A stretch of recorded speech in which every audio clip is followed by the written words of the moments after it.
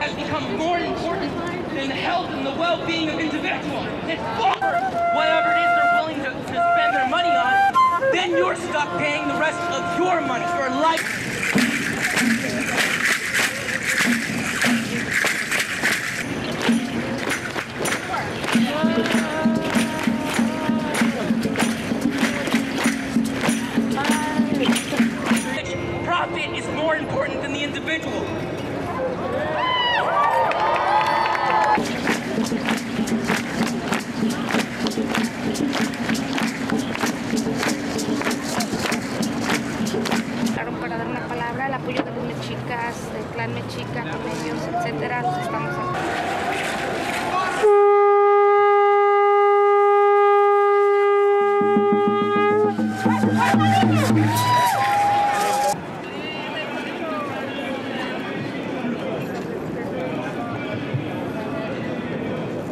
You have to ground it in the belief that our minds can create lasting change. You have to ground it in the belief that if we put our thoughts to it, our lands is coming together like no other. And we're, I'm just so excited to see this future, aren't you? Being here. This is beautiful right here.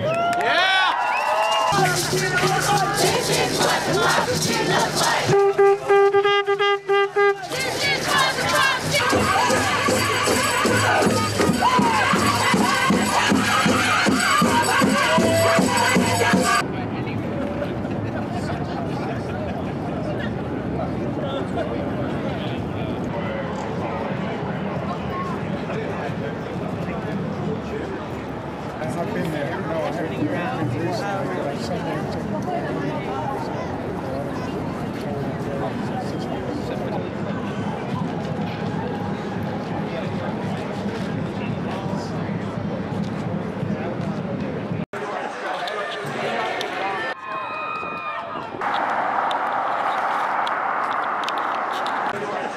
Yeah.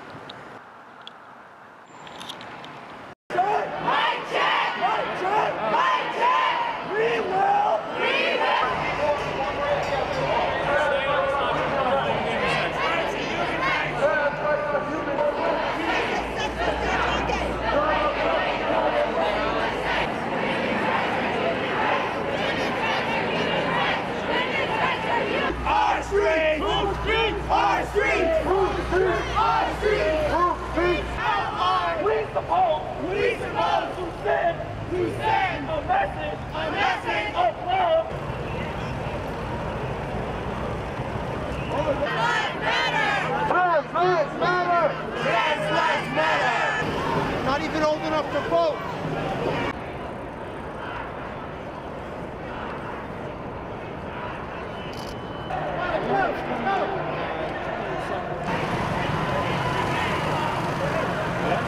Racist, sexist, anti-gay!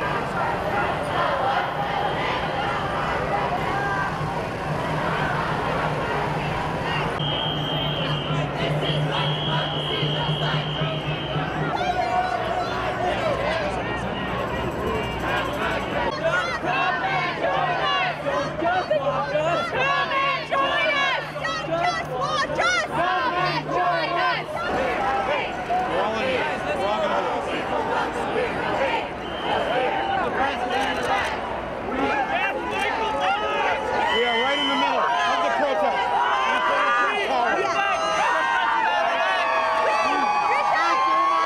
Stand in those windows. How can you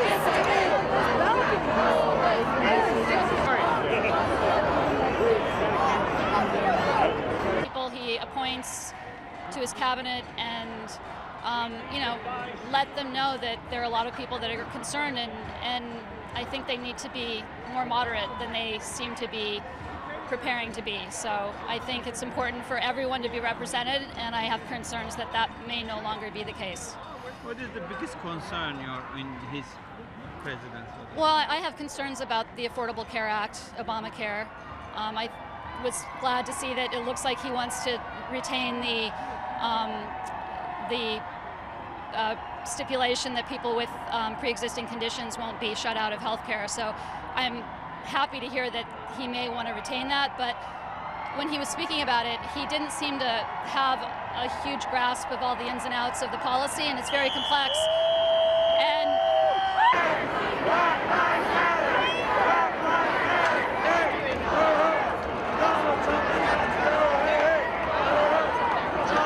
problems with our democracy here that uh, the both parties were run by establishments that were uh, in the on the payroll of Wall Street and including Hillary Clinton. And I voted for Hillary but I was for Bernie. And I I feel that this uh, election was an anti-establishment uh, mandate uh, Trump was uh, sort of a Pied Piper to lead uh, a lot of, white people who were frustrated with uh, the rigged economy. And I'm afraid that the Republican establishment is just going to replace him with Michael Pence, who's their, who's one of their own in any case, even if Trump stays in, it's everything he says he wants to do about immigrants and Muslims and you know uh, women's rights, abortion is is unacceptable, and we, we can't accept that. And I don't know what we're going to do. We, everybody has to do what they can. Everybody has to join any group that that they can that where they can work together. I wish it isn't wasn't the case, but I want the country to be successful, but it's hard to imagine how that happens with him at the helm. And the world for that matter. You know, I mean, you have situations like in North Korea where they're fired off something like 22 ballistic missiles this year. Do we trust him to not escalate a situation like that? Or India and Pakistan had border skirmishes this year. Yeah. That, you know, an American president to deal with these very, very complex situations, both at home and abroad, while wielding the largest accumulation of power ever assembled, needs a steady hand. It needs somebody who knows what they're doing, what they're talking about, and who is mentally fit to do so, and he's just not.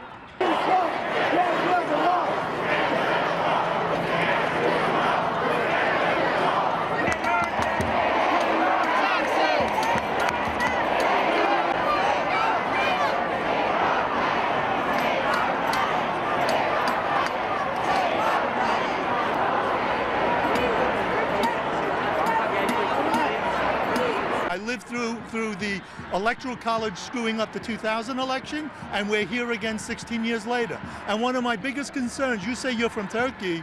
I just came back from Italy, my very first international trip, my son and I, and I'm concerned how we look to you. I'd like to think, and I don't mean it to be arrogant, that we kind of set the tone for the rest of the world. We care about the rest of the world. We care about the environment like so many other people did, and this guy is going to take us back. So the only thing I can say to your listeners in Turkey and throughout Europe, this is not America. You see the real America. Hillary Clinton won the popular vote. We go into a lot of countries and say, your elections are pretty screwed up.